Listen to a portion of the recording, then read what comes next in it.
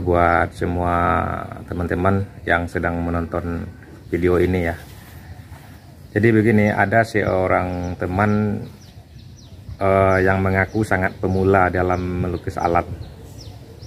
Dia bertanya kalau melukis alam realis itu kita mesti mulai uh, dari apanya dulu gitu ya, atau mulai dari mana dulu, begitu pertanyaannya. Jadi begini ya. Sebetulnya uh, melukis pemandangan itu kita bisa saja memulai dari objek mana saja. Uh, mungkin itu dari gunung dulu, pepohonan dulu, atau apalah itu namanya unsur-unsurnya yang ada di alam ya. Namun kalau versi saya begini, jika kita pengen terbantu atau pikiran kita itu otomatis terbantu untuk menentukan pandangan uh, di dalam lukisan itu uh, berbentuk dimensi ya. Seperti nyata atau kayak hidup gitu ya dan sebagainya. Maka saya biasa memulai dari yang kelihatan jauh dulu ya. Saya memulai. Ini sesuai pertanyaan ya. Mulai dari mana? Ya saya memulai objek yang pengennya saya itu kelihatan jauh dulu gitu karena nantinya untuk pendetilan kita sudah terhipnotis ya dalam tanda kutip ini.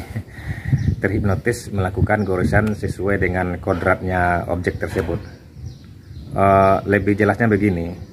Misalkan saya memulai dari objek gunung yang kelihatan jauh ya lalu lanjut ke objek yang makin dekat uh, dan makin dekat lagi ya lalu yang lebih dekat dan paling dekat lagi Nah, urutannya begitu. Uh, goresannya juga begitu untuk pendetilan. Jauh dulu, ya kan? Baru ke objek yang dekat. Menurut saya itu objek senantiasa blur ya, yang bagian jauh. Rada-rada tidak jelas, tapi terbentuk sesuatu ya. Tapi berbentuk sesuatu gitu. Misalkan pepohonan yang jauh itu kita beri goresan rapat, tidak keras atau kontras lalu oh, yang dekat atau semakin dekat maka goresannya juga semakin keras ya ataupun kontras ya.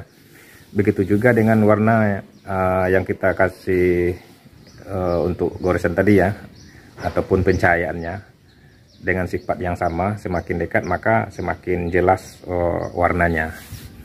Untuk versi jauh warna biru itu pada perbukitan biasa saja kita campur dengan hitam dan putih ya sama biru juga. Yang menurut saya akan menghasilkan abu-abu kebiruan gitu ya. Nah ini khusus hal yang sifatnya umum ya umum dalam pemandangan yang pencahayaannya uh, siang hari atau tengah hari ya. Uh, bisa juga pagi ya. Lain lagi cahaya sore malam ataupun uh, senja gitu ya. Kita bahan uh, bahan sorry. Kita bahas ini sifatnya uh, secara umum bukan secara mengkhusus. Oke perhatikan uh, biar biar lebih jelas. Eh, teman-teman uh, perhatikan gambar lukisan dasar yang baru saja saya buat ya. Biar jelas saya jelaskan seperti ini